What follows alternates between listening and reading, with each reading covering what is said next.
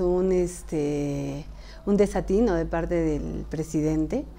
Eh, yo creo que los problemas políticos tienen que arreglarse en ese nivel y el tener que este, convocar la participación de los reservistas para defender este, la, estabilidad del Ejecutivo es eh, realmente un gran desatino. ¿no? Pienso de que lo que se debería de, este, de ver es dejar que el Poder Judicial y el Ministerio Público cumplan con su labor de investigación.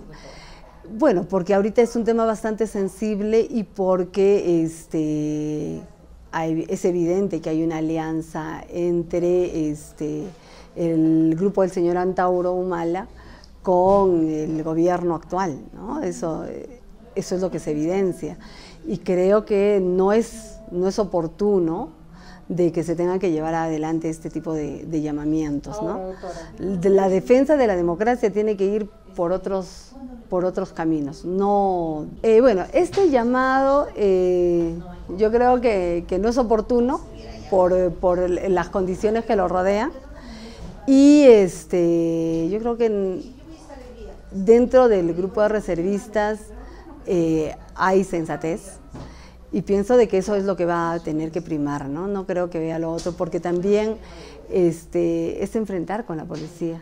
Es un enfrentamiento. ¿Está quitando el espacio a la policía? Yo creo que sí. reconocidos oficialmente?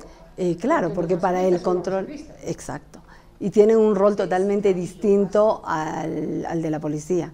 Y nosotros tenemos instancias tutelares que tienen que ser respetadas definitivamente. ¿Es un tipo de desesperación por no perder el poder? Eh, podría ser. Y lo que sí habría que estar atentos es porque la democracia se tiene que defender este, de todas maneras.